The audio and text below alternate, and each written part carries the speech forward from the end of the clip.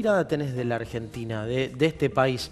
Sin banderas políticas, te lo pregunto, eh, porque hoy estamos, viste, atravesados de que si uno habla de este lado es esto, el otro, el otro, ya salen rápido a, a tildar y a criticar. Pero tenés eso, que es la vista, la memoria, el haber transitado, el haber visto la Argentina hace muchos años atrás, el del verla hoy.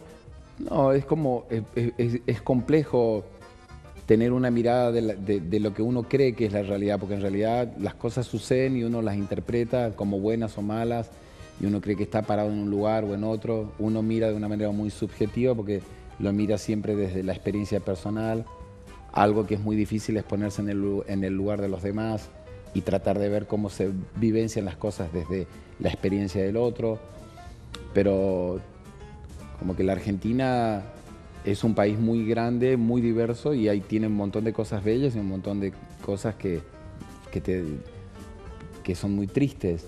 Pero por ejemplo, si hablas de, recorrer la Argentina, en los lugares donde más carencia hay es donde menos quejas escuchás. Entonces yo he hecho 80 viajes haciendo pequeños universos y he hmm. viajado por todo el interior, he recorrido la Argentina de punta a punta, no hay un solo rincón que no haya pasado o tocando o haciendo pequeños universos. Y los lugares eh, más carentes eh, materialmente, más inhóspitos, más alejados, eh, más pobres en el sentido material, es donde menos he escuchado quejas.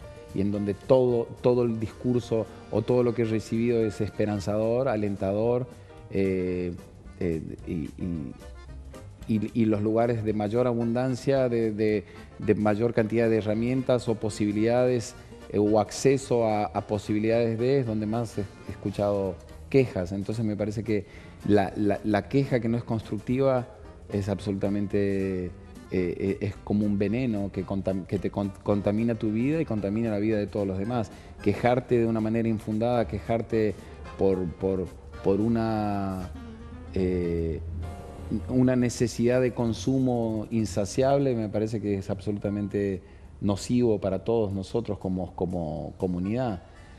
Entonces, así, y, a, la, distancia uno puede ver ese contraste de, mundos y de, imágenes que encontrás, pero también desde afuera, más que ser un crítico, soy como un, un enamorado del respeto por la diversidad y, no sé, he viajado mucho por el mundo y hay, hay aeropuertos en los cuales entro y que te miran tu pasaporte y digo, me dan ganas de decirle, no veo la hora de irme de aquí. Me gusta estar por un ratito, pero, a mí me gusta mi país. En mi país recibimos a todos y la diversidad es un tesoro y no es un problema.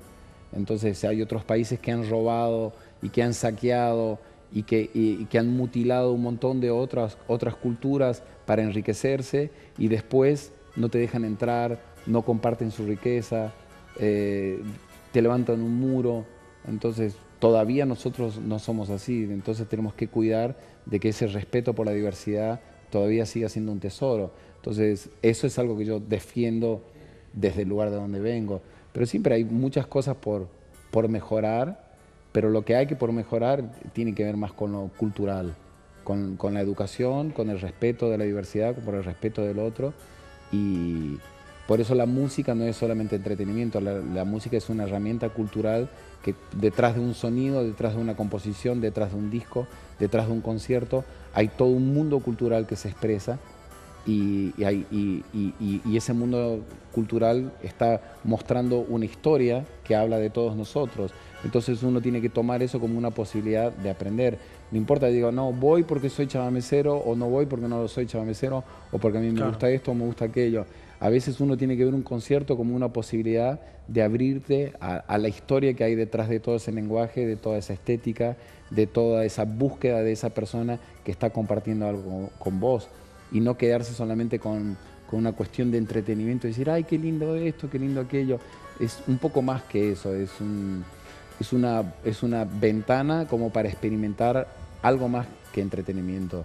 Y, en este momento de, tanta dispersión del celular, de redes sociales, de tanto contenido intrascendente que hay en los medios, eh, hay, que, hay que agarrarse muy fuerte de la cultura y, del conocimiento y de la herramienta que hay ahí como para mejorar nuestra calidad de vida. ¿Qué es calidad de vida? uno debería preguntarse, ¿qué es tener una vida de calidad? O sea, ¿es eh, un, móvil, un auto, una prenda? ¿O es un libro? ¿O es el conocimiento? ¿O conocer algo de tu historia? ¿O conocer algo de vos mismo? ¿O conocer algo del hombre?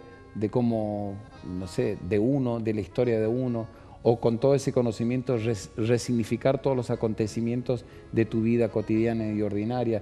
¿Qué sería una vida de calidad? Habría que preguntarse más seguido eso, deberíamos preguntarnos más seguido eso. ¿El 5 te presentás en La Plata? Sí, en el Teatro Bar. Hacía mucho que no venía a La Plata, he venido al, Coliseo Podestá y he venido a tocar un montón de teatros aquí. Todos mis proyectos anteriores los presenté en vivo Ahora vengo con otras músicas, con un ensamble con Matías Martino en piano, Marcelo de la Meda en guitarra, Eugenia Turovesque en cello, Pablo Farate en violín, Marcos Villalba en percusión. Y vamos a pasar, va a ser un concierto de dos partes. La primera parte, toda la música que hice para cine, inclusive una versión de Seguir viviendo sin tu amor de, del Flaco Espineta, que es como un bonus track que hay en el disco. Y la segunda parte son mis discos más conocidos y parte de, de esa música que van a formar parte de la segunda parte del concierto. ¿Y ahí a dónde? ¿A recorrer? No, el 4 voy a estar en Buenos Aires tocando, el, 5 aquí en La Plata, después voy a ir a Rosario y septiembre voy a estar por, por Neuquén, por Bariloche, en octubre voy a ir a tocar a México y después no sé. Agenda cargada. No, no, tampoco no proyecto tan lejos, no sé, no sé qué va a venir, pero sí tengo como un pequeño panorama de esta segunda mitad del año, reformulando un proyecto nuevo que me gustaría hacer y estoy trabajando en estudios sobre eso. Vamos a ver, como que cuando, cuando no hay tiempo, cuando no hay mucho, mucha actividad o muchos conciertos, este es un año que no he girado mucho por Europa, entonces cuando no giro tanto, eh, o no hay tantos conciertos, es época de leer, de estudiar y de, retomar esos proyectos que tenías postergados y empezar a trabajar sobre, ellos y tomar mate. Vamos a continuar tomando O ir a surfear a Mar del Plata, pero bueno, pero ojalá. Gracias por el tiempo y los conceptos, un placer. No, a ustedes, un placer, gracias por este espacio y nada, los espero a todos el 5 aquí, siempre feliz de pasar por esta ciudad que siempre ha sido tan considerada con, mi música y el público siempre ha sido tan amable y generoso.